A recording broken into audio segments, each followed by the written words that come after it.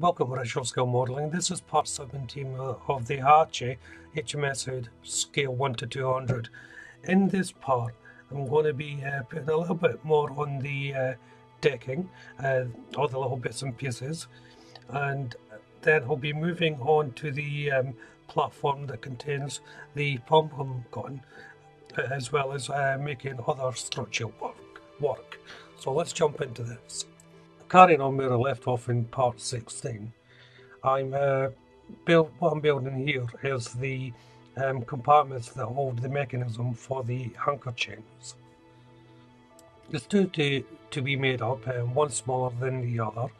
Um, a fairly simple process to build, uh, just a little capstan thing um, on top of the mounting unit. So it's back to the other end of the ship and um, I'm starting to place on more of the deck furniture. Uh, these are the um, supports, I, think, for some of the uh, lifeboats. Not 100% sure, but I think that's what they're for. So I'm just carrying on uh, with the deck, putting in the uh, furniture. Basically what I've done in previous um, videos. So there's no need to go into great detail here. So what's going on is the, the little plates, the more air vents, um, some more uh, uh, ammo boxes, all, all, basic stuff that uh, I placed on before that you can see actually on the deck at the moment. Issue 117, uh, this part probably deals with the platform that the aerial mass and command decks are going to be sitting on.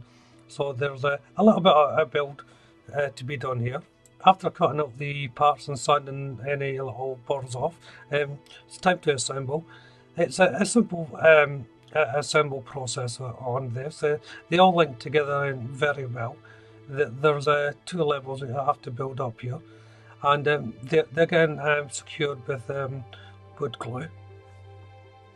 I did have to be careful with various of the components because um, some of them look very similar and they only go in one way for uh, construction later on down the line. So I had to be mindful of that. This unit's almost built now. I'm just putting on the um, side panels.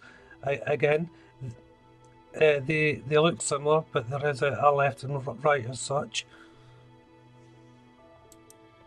Issue 118 here. That is uh, for the deck and plate, uh, for the unit I just built. Um, as you can see, they already um, primed it. Um, th there's a two-tone painting uh, scenario going on here, but it's easy enough to do. So one side I'm using Revell Apricolor 74 Gunship Grey for the darker grey. As you can see there, I put a bit of masking tape over to create my line. So you can see there, however, I did slightly screw up. I should have painted this on the other side. So I'm just going to have to repaint this. So I'm using Revell Aqua Color 88 Ochre Brown and um, I'm just covering all the paintwork up that I've already did. It's no drama, it does happen, I just didn't pay attention and um, it covers up quite well with this ochre. And the opposite side uh, will be painted just as I painted the two grey colours.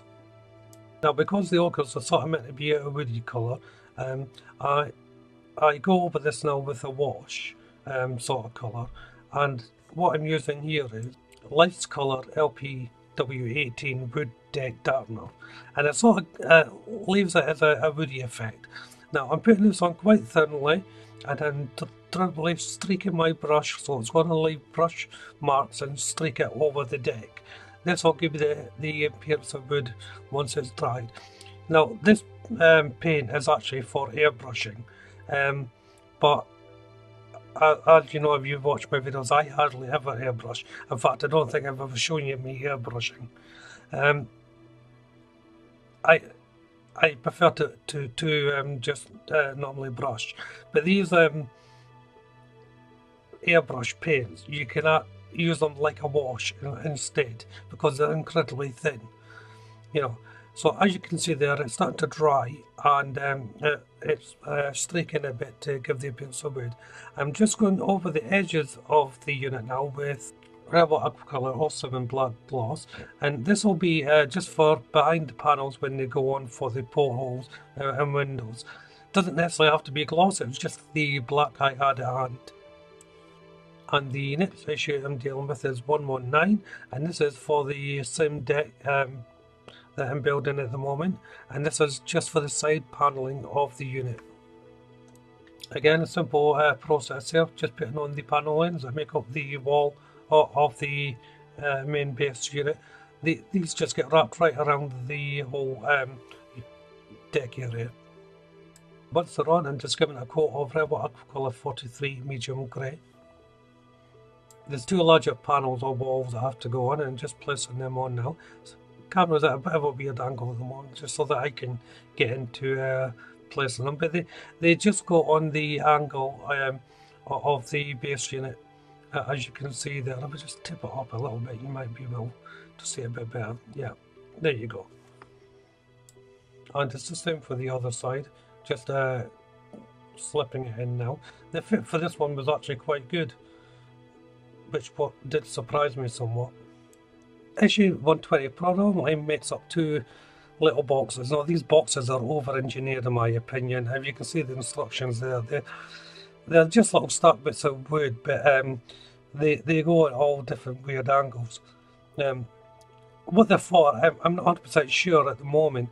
I think they're part of the aerial system, but um, I won't know until later on down the build.